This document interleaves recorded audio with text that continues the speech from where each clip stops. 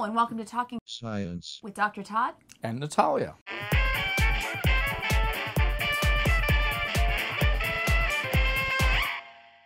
Today, we want to talk to you about a very important yet controversial topic the anti vaxxer movement. According to the CDC, routine vaccines given to kiddos in the last two decades will prevent hundreds of millions of illnesses, tens of millions of hospitalizations, and prevent over 700,000 deaths. And that's just in the United States alone. That's amazing. But despite the effectiveness of vaccines, there has been a frightening trend over the last decades of parents choosing not to vaccinate their children based on anecdotal evidence and unsubstantiated medical claims, such as vaccines are the cause of autism, vaccines aren't 100% effective, and that vaccinated children stand a greater chance of getting sick from the vaccination rather than becoming immune to the disease it's hoping to prevent. And these claims are being championed predominantly by non scientist bloggers and entertainers rather than by medical researchers and professionals. That's like going to your mechanic for marital advice or to replace your knee. That just doesn't make sense.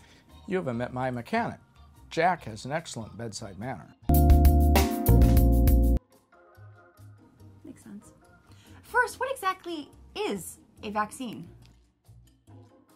A vaccine is an agent that stimulates a person's immune system to produce antibodies to a specific pathogen, protecting the person from a disease.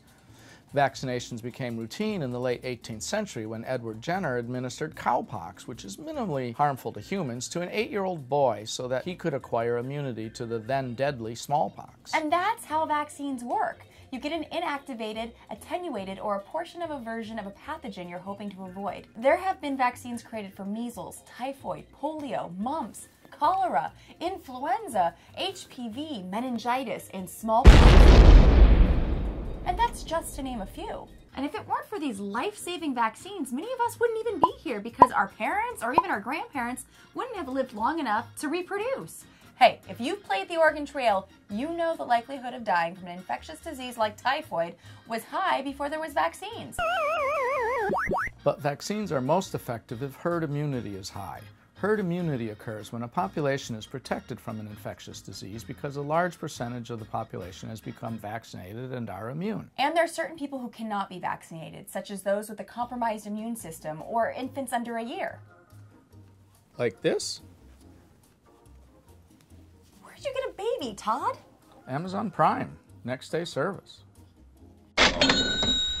And if you haven't been vaccinated or you choose not to vaccinate your kids, you can thank herd immunity for keeping your family safe. But if too many choose to forego vaccinations, herd immunity drops, and that's when outbreaks occur. For instance, look at the 2014 measles outbreak at Disneyland that left over 90 people infected with the preventable disease. The source of the outbreak is currently unknown. It could have been an unvaccinated kid, adult, or someone in the 2% who didn't gain immunity from the vaccine, or someone who could not be vaccinated due to a compromised immune system. So, why do anti vaxxers choose not to vaccinate?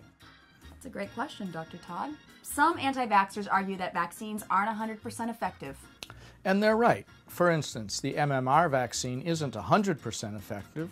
It's 95% effective for one dose and 98% effective for two doses. With numbers like that, I'll take my chances. Some anti vaxxers argue that vaccines cause autism. This claim is based on a British study published in 1998 that was famously debunked in 2011 as an elaborate fraud. And since that fraudulent research was published, multiple studies have been conducted to test whether vaccines cause autism. The verdict? Vaccines do not cause autism! They just don't. If someone is healthy enough and old enough, they should get vaccinated. It's selfish not to, as you put the rest of the population at risk. So, parents, I think it's great that you're taking the initiative and doing the research, but question is, where are you getting your facts? Are you getting them from doctors and peer reviewed journal articles or from anti vaxxer websites, entertainers, and bloggers? Remember what Abraham Lincoln said don't believe everything you read on the internet. That dude was hella wise. Aww.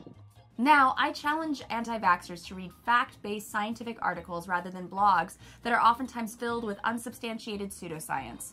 Because this isn't just about potentially saving your children, it's about maintaining herd immunity and protecting the population at large. Because we're only as strong as our weakest member of the herd. And for those of you who don't like needles, I bet you'd like mumps and measles a whole lot less.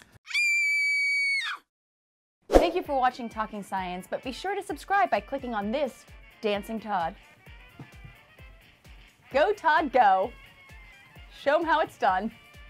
Look at that shimmy. Shake it. If you don't get your vaccine, how can you have any immunity? How can you have any immunity if you don't get your vaccine?